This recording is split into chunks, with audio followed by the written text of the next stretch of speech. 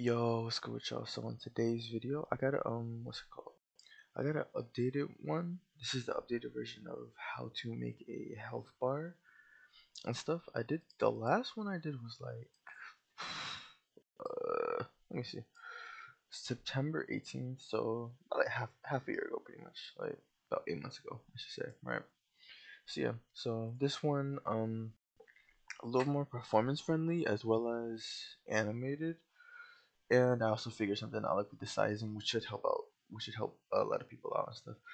But yeah, let's get straight to it. Okay, so first things first, of course, for make a health bar, we're first gonna need a GUI.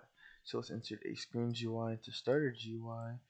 Then let's insert a text label into screen GUI. We will name screen GUI uh, health GUI. Then we can name this uh, you could call this uh, actual health text label, right? Yeah, we'll call it that. Actual health text label. Then you can duplicate it by pressing Control D while having it selected.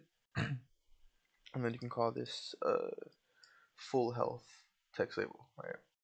Now the difference is obviously actual health displays the amount of health you currently have, while so it could be actual health or current health, whichever one you want.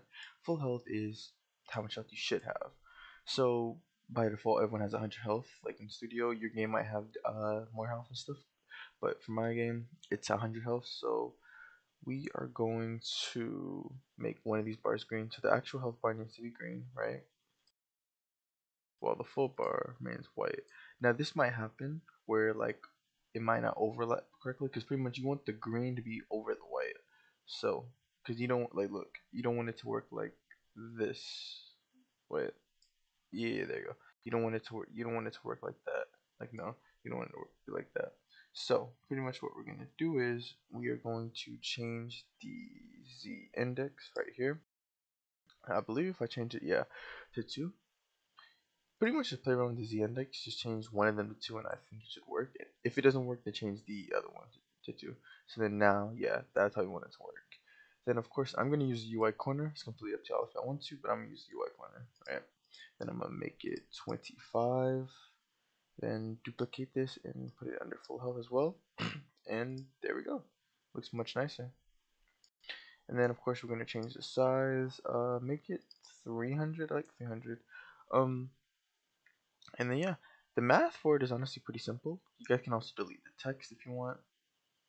It's completely up to y'all. I'm gonna delete the text and then we're going to insert a local script into actual health. Make sure it's in actual health, not full health. And we'll call this health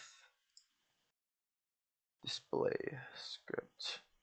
Then first things first, we need to get the local player. So local player is equal to game.players.localPlayer. Then do local character is equal to game.workspace wait for child player.name. And we also need to wait for the humanoid. So let's do character, wait for child, humanoid, right? And then instead of us doing instead of us doing while do, we're going to do humanoid dot change, which would be more performance friendly.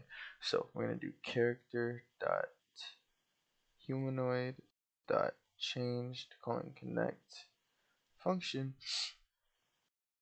close parentheses, enter. So pretty much this means if any one of the properties change for humanoid, because uh, by the way, if you're thinking of trying to do health dot change, this does not work. So we have to do humanoid dot change, which pretty much means um, if any of the properties of the humanoid change, then this function will run. So yeah. So pretty much if one of the properties change, we want it to do script uh, script dot parent instead of changing the size directly, we're going to tween it. Tween size, right? And then we're going to do udim2.new and we're going to do right the math is honestly very simple right? I know before i told you i should just play around with the numbers but honestly it's it's actually pretty simple. Okay so obviously you want to take the size of what you currently have right? You guys are going to want to use these numbers. So 0 so 0 300 0, 50. Obviously, you don't want to change this number. You don't want to change the y value. But we do, however, want to change the x value. So, pretty much what you guys want to do is you want to do, I believe, um, if I'm not mistaken, I think we do this script dot parent dot size dot y. It's been it's honestly been a while since I did it. Mm. Oh no, sorry guys, sorry guys. I remember, I remember. Okay, we get the uh, what's it called? The character's health. So character dot humanoid dot health, right? So remember, right? Our game has 100 health. So pretty much the math is simple. If we have 100 health and the total size is 300, we simply just multiply the health by 300 and boom. I mean, sorry, not by 300, sorry. Not by 300. Is, I think we do it by 3 or 0 point. No, no, no, it should be, yeah, it should be by 3. But yeah, by 3. So it's pretty simple. And then, of course, we don't change this because we're only needing to change this size, not that size. Well, unless you want to do it like that, but yeah. And then that's pretty much it. Well, except for, well, aside from like the other details that we gotta do. So then we can do enum dot easing direction. Uh, uh, I guess I'll say out, and then enum easing style. We'll do linear. I'm not gonna put a time. Yeah, I'm not gonna put a time. I don't think we need one for this, but yeah. And that's pretty much it. Let's go ahead and click play, and let's let's see if it works. All right, we can. Oh, well, the chat's gone. So yeah, but let me go here, and then oh, sorry, not here. Let me go to my character, and then my health, and I'll change my health to show you guys. So if I do 90 health, boom. As you guys can see, it's not just like moving to that point. It's like it's animated, like it's sliding back or sliding forward, as you guys can see. Then if you go to full health, yeah, there we go. Then if we can do small changes like that, and or 25, like that, and yeah, there you go. That's how you do it. So once again, to explain the math, right? You need to do character dot humanoid dot health, right?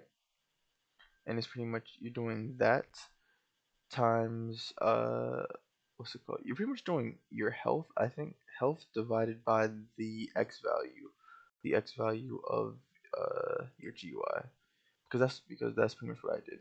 I did health, so 100 divided by 300 is 3. So yeah, that's pretty much how you should do it. But yeah, uh, as always, the script will be in the description. Appreciate y'all for watching. Leave a like and subscribe if the video was helpful. Links to join the Discord server can be found in the description. And yeah, I'll see you guys. Appreciate y'all for watching.